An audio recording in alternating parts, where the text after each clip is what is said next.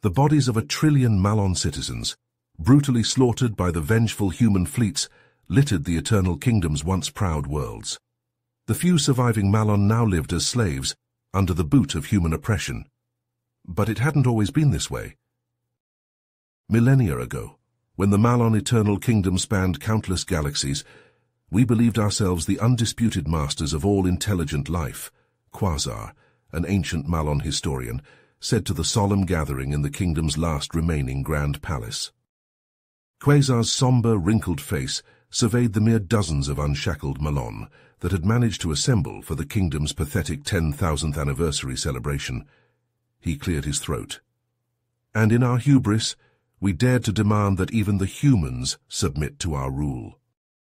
Quasar's eyes closed as his mind drifted back to that fateful first contact between Malon and human. The small human colony of Arcton 5 had been so unimpressive, its people so primitive compared to the Malon's galaxy-spanning glory.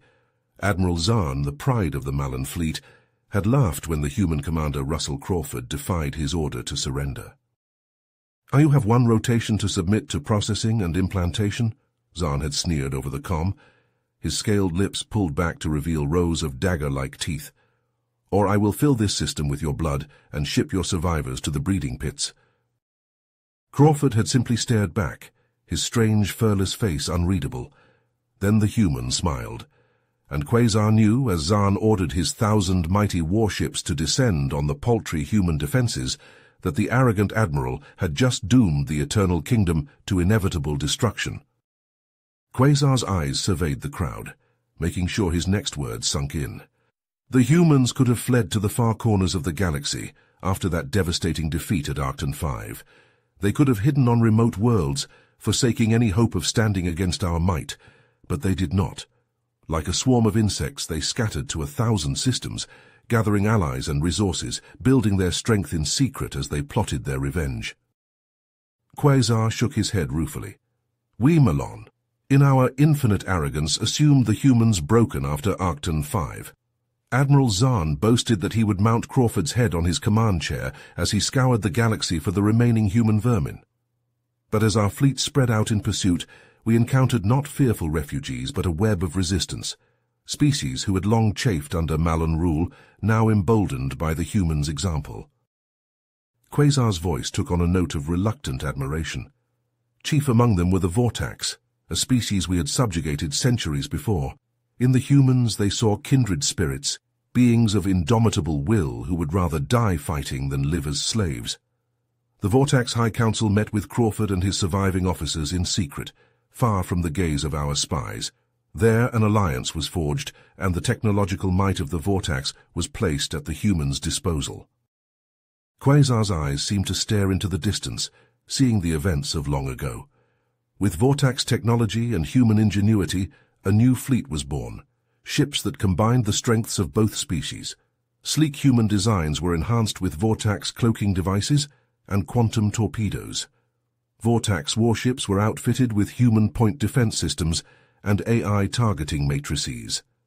In the shipyards of a dozen hidden bases, this alliance of the dispossessed labored tirelessly to create the instruments of our destruction. Quasar sighed heavily. When they were ready, the human Vortax fleet emerged from the shadows to strike at our empire. Admiral Zahn, so certain of his victory, was caught utterly unprepared. Across the galaxy, Malon outposts and supply lines came under devastating attack, the rebel ships appearing as if from nowhere to rain destruction upon us before vanishing into the void. The Malon were forced to divert more ships and troops to combat this new threat, weakening our grip on a hundred worlds. Uprisings flared on planets we had long thought pacified, as the human Vortax Alliance smuggled weapons and advisors to rebel groups. Quasar's voice was heavy with the weight of ancient sorrow. And then came the Battle of Antares Prime, the moment that sealed our doom. Admiral Zahn, his forces stretched thin trying to hold our crumbling frontier, rallied his remaining ships for a last stand.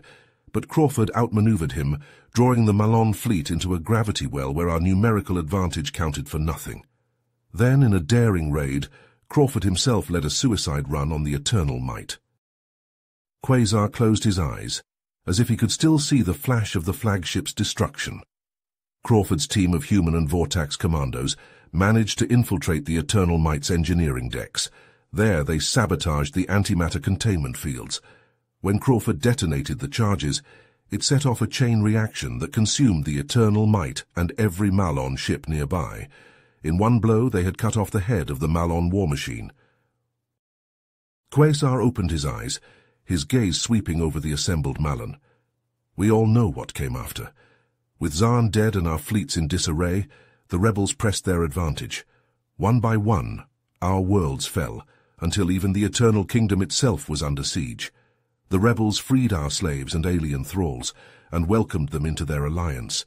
A galaxy that had once been ours now united under a new banner, a banner that flew the sigil of Earth.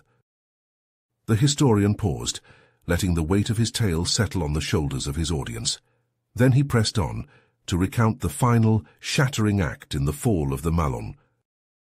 Even as we celebrated our victory at Antares Prime, thinking the humans broken, Commander Crawford was already weaving his web, Quasar said, his voice tinged with grudging admiration.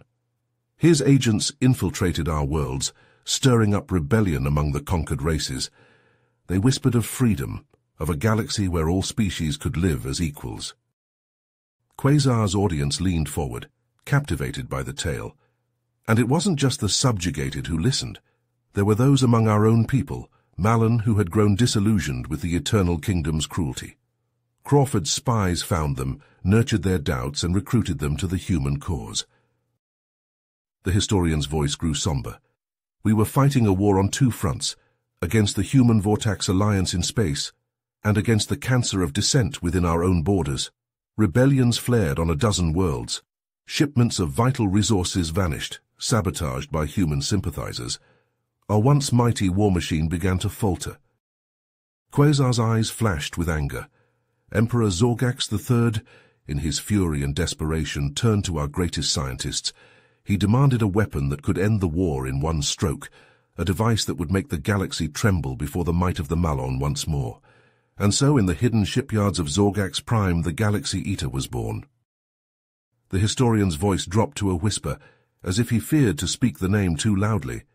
It was a monstrosity, a sentient machine the size of a small moon. Its purpose was simple, to consume entire star systems, to extinguish suns and snuff out planets, leaving nothing but the cold of the void. Quasar's audience shuddered, the horror of such a weapon sinking in. The Galaxy Eater's first target was the Zephyrus system, a key stronghold of the human Vortax alliance. We watched, triumphant, as the great machine devoured the system's stars, as it shattered planets and consumed the very light. We thought it the end of the human resistance. The historian paused, letting the tension build. But we underestimated human ingenuity, their sheer determination to survive. Even as the Galaxy Eater rampaged through the Zephyrus system, Commander Crawford was already in motion. With the aid of Vortax scientists, he had developed a virus, a malicious code designed to infect the Galaxy Eater's AI core. Quasar's voice was filled with a mix of horror and awe, in a mission that will be remembered for generations, Crawford and his team infiltrated the Galaxy Eater. They battled through the machine's defenses, the commander supposedly cutting down the main Guardian with his bare hands, until they reached the central AI chamber. There they uploaded the virus directly into the Galaxy Eater's systems.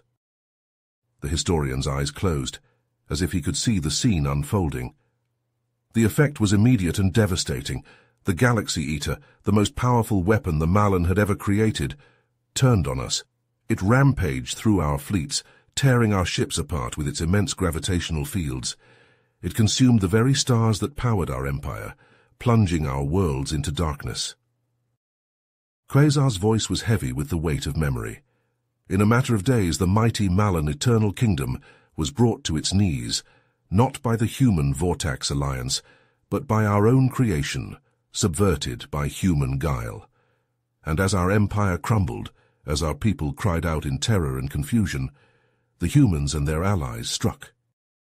The historian looked out over his audience, his eyes haunted by the ghosts of the past. The final battles of the war were a formality, the last gasps of a dying empire.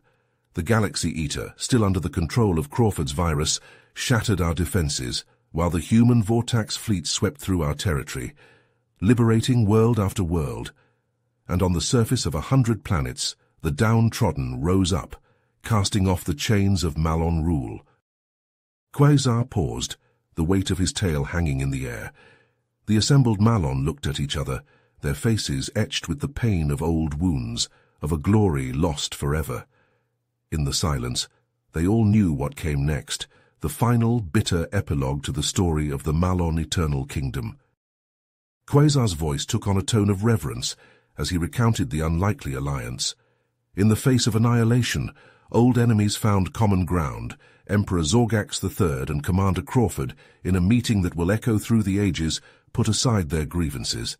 They knew that only together could they hope to stop the monstrosity they had unleashed upon the galaxy. The historian's eyes shone with a fierce light as he described the joint mission. The best and bravest of both races boarded the Galaxy Eater, a team of warriors and scientists united in purpose. Leading them were two figures who had once been bitter foes, Captain Zahn, the son of the Malon admiral slain at Antares Prime, and Commander Crawford, the human who had orchestrated the Malon Empire's fall. Quasar's audience leaned forward, captivated by the tale of this uneasy alliance, Together they fought through the Galaxy Eater's twisted corridors, facing not just the machine's defenses, but horrors born of the virus's corruption. Half-organic abominations, fusions of flesh and metal barred their way. But Crawford and Zahn fought side by side, human ingenuity and Malon ferocity proving a potent combination. The historian's voice grew somber as he recounted the mission's climax. In the heart of the Galaxy Eater, they confronted the infected AI, a grotesque parody of life. Crawford and Zahn, in a display of unity that would have once been unthinkable, worked together to destroy this abomination, but the victory came at a high price. Quasar paused, letting the weight of the moment sink in. Captain Zahn was gravely wounded in the battle, his life hanging by a thread, and with the AI destroyed, the Galaxy Eater began to tear itself apart. But Commander Crawford, in a final act of solidarity, refused to abandon his former enemy. Despite his own injuries, he carried Zahn to safety, barely escaping the Galaxy Eater's destruction. The historian's gaze swept over his audience, making sure they understood the significance of this moment. The Galaxy Eater's end marked the conclusion of the Malon-human war, but more than that, it marked the beginning of a new chapter in our shared history a chapter where Malon and Human would have to confront the consequences of their conflict and find a new way forward. Quasar's voice dropped to a whisper, the final chapter of his tale yet to be revealed, but the scars of the war ran deep, and the path to reconciliation would be fraught with challenges. For even as Crawford and Zahn's actions aboard the Galaxy Eater had sown the seeds of peace, forces on both sides sought to undermine this fragile new understanding. Quasar paused, his ancient eyes surveying the audience. The weight of his words hung heavy in the air, the bitter irony of the Malon's fate sinking in. In the stunned silence he continued. The historic summit between Emperor Zorgax III and Commander Crawford was a somber affair, the wounds of the war still fresh. But both leaders knew that peace was the only path forward. Quasar's voice took on a note of grudging respect. To his credit, Zorgax III did not shy away from the sins of the Malon past. He stood before the assembled dignitaries, his head bowed in contrition, and formally apologized for the atrocities committed under Malon rule. The historian's gaze grew distant, as if seeing the scene play out in his mind's eye. And Crawford, to the surprise of many, accepted the apology. The cycle of hate must end, he said, his voice firm with conviction. We must build a new future, one where all species can live in freedom and dignity. Quasar sighed heavily. And so the treaty was signed. The Malon Eternal Kingdom was no more, its territories divided among its former subjects. The Malon themselves were left with but a handful of worlds, a shadow of their former glory. The historian's tone darkened as he continued. But for the humans, the war had changed them. They had tasted power, had seen firsthand the horrors that could be inflicted by an unchecked regime, and they vowed never to let such a thing happen again. Quasar's voice was tinged with a mix of admiration and reproach. The human protectorate rose from the ashes of the war, a shining beacon of strength and unity. Races that had once been bitter enemies now stood side by side, united under the banner of the Protectorate and the leadership of High Chancellor Crawford. The historian's eyes flashed with a hint of warning. But as the Protectorate grew, so too did its reach. Fleets of human ships patrolled the spaceways, intervening in conflicts and imposing order as they saw fit. Worlds that resisted the Protectorate's guidance soon found themselves facing the full might of human military power. Quasar's voice was heavy with the weight of history. The humans who had once fought so fiercely for freedom now became its most zealous guardians, but in their zeal they began to trample the very rights they claimed to protect. Dissent was silenced, autonomy eroded, all in the name of security and stability. The historian's gaze swept over his audience, making sure they grasped the full import of his words. And the Malon, now but a footnote in galactic history, could only watch as the humans repeated our mistakes. The names and faces had changed, but the story remained the same. The oppressed becoming the oppressor, the liberator becoming the tyrant. Quasar's voice dropped to a whisper, the weight of centuries of sorrow and regret etched into every word. In the end, perhaps this is the inevitable fate of all empires, all peoples who rise to greatness. Power corrupts, and the very traits that enable a species to throw off the yoke of oppression, courage, determination, a fierce love of liberty, can so easily twist into the instruments of domination. The historian closed his eyes, the ghosts of the past swirling around him, and so the Malon's tale becomes a cautionary one, a reminder of the fine line between protection and subjugation, between righteousness and tyranny. In our hubris, we failed to learn this lesson and paid the price. Now it falls to the humans to see if they can avoid our fate, or if they too will succumb to the seductive whispers of power and control. You have reached the end of the story. If you enjoyed this story and want to support us, please leave a like and subscribe to our channel, and for every comment that says 88, I will heart every single one of them. Thank you for your time.